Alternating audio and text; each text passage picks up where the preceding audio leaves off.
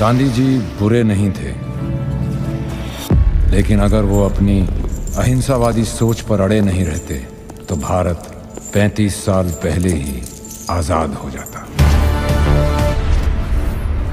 विनायक दामोदर सावरकर पर एक मूवी आने वाली है। हैं? क्या? कौन से विनायक दामोदर सावरकर? गांधी के बारे में बताओ या फिर नेहरू के बारे में बताओ? भाई, हम तो इनके बारे में जानते नहीं तो कहाँ से जानोगे भैया? असली इतिहास के बारे में पता ही नहीं है। अंग्रेज़ों की झूठी फैलाई हुई इतिहास को हम पढ़ पढ़ के जो जी रहे हैं तो कहाँ से पता चलेगा? तो विनायक दामोदर सावरकर या स्वतंत्र वीर सावरकर के नाम से जिन्हें जानते हैं, जिनके पीछे कांग्रेस आमतौर पर पड़ी ही रहती है, बहुत सारे जो नेता हैं, उनके पीछे पड़े ही रहते हैं। तो विनायक दामोदर सावरकर के ऊपर जो है एक फ़िल्म अनाउंस हो चुका है। एक नहीं दो दो फ़िल्म अनाउंस हो चुका है।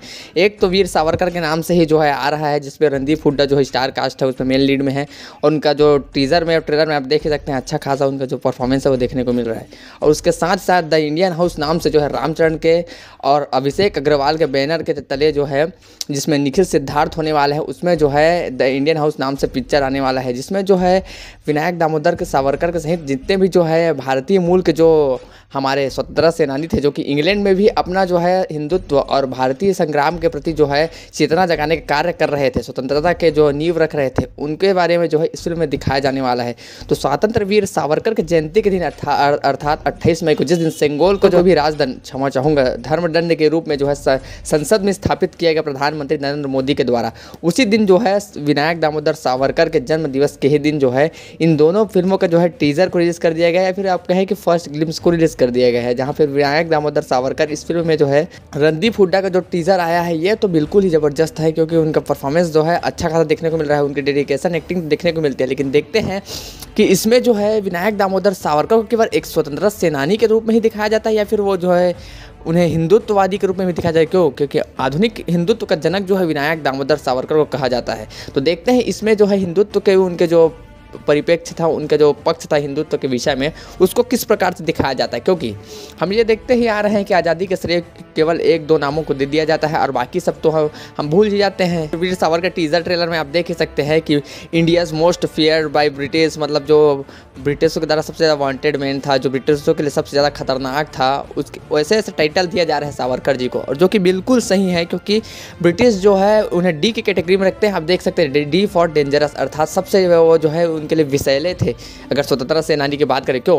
क्योंकि विनायक दामोदर सावरकर ही ऐसे पहले व्यक्ति थे जिन्होंने जो है अट्ठारह की स्वतंत्रता संग्राम को, स्वतंत्रता संग्राम या क्रांति कहा था। उससे पहले तो अंग्रेज़ लोग जो है उसे विद्रोह का नाम दे देते हैं, अर्थात रिवेल या फिर रिबेलियन या फिर विद्रोह या फिर उसी प्रकार से हम पढ़ते भी आ रहे हैं, अठारह के विद्रोह का दमन का कारण भी बताइए, ये सब कारण हम पढ़ते आ रहे हैं। इसको विद्रोह कहे कि अंग्रेज़ जो है इस तरह से दिखाना चाहते हैं कि ऐसे जैसे कोई कोई वो पहले से जो है इस्टेब्लिश सरकार हो, जबकि ऐसे नहीं थे वो जो है विधर्मी आक्रांता थे, जो कि हमारे देश पे कब्जा करके बैठे थे, वो कोई हमारे पहले से स्थापित कोई सरकार नहीं जिसके खिलाफ विद्रोह किया जाता है। इसको तो अपने हक की मांग, अपने अधिकार की जो है वर्चस्व की लड़ाई कहते हैं, जिसको जो है स्वतंत्रता संग्राम का नाम दिया गया और इस पर जो है पुस्तक लिखी थी विनायक दामोदर सावरकर, जिसके, जिससे जो है प्रेरित होकर वीर बलिदानी भगत सिंह भी जो है इससे प्रेरित होकर एच एस आर ए का निर्माण किया था। वही चंद्रशेखर आज़ाद समेत नेताजी सुभाष चंद्र बोस ने भी जो है विनायक दामोदर सावरकर को गुरु मानते हुए स्वतंत्रता संग्राम में अपना जो है योगदान दिया था। इसी प्रकार से छत्रपति शिवाजी महाराज के हिंदवी स्वराज्य के स्वप्न को आगे ले जाते हुए महर्षि दयानंद सरस्वती के स्वप्न को आगे ले आगे ले जाते हुए विनायक दामोदर सावरकर ने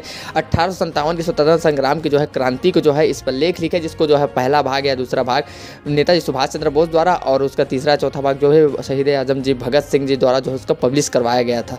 तो ये थे हमारे विनायक दामोदर सावरकर, जिन्हें जो है जो है काला पानी की सजा हुई थी, जिन्हें जिनके द्वारा जिनके बारे में हम इतना कहें उतना कम ही है।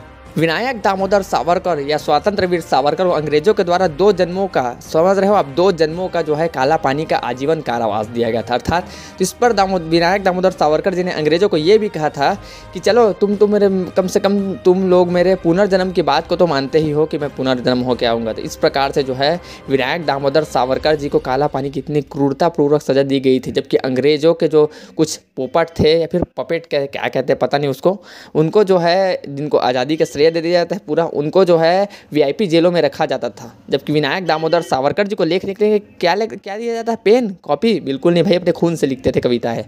तो इसके बारे में हम बहुत सारी बातें कर ही सकते हैं, लेकिन टीज़र की बात करें तो दोनों टीज़र अच्छा खासा है। देखते हैं कि रिव्यू के बाद ही पता चलेगा मूवी के कि कौन से में जो है देशभक्ति को अच्छा दिखाया गया है, क्योंकि यह प्रोपेगेंडा वाली फ़िल्में तो बनी रही है ना भाई। देखते हैं क्या होता है।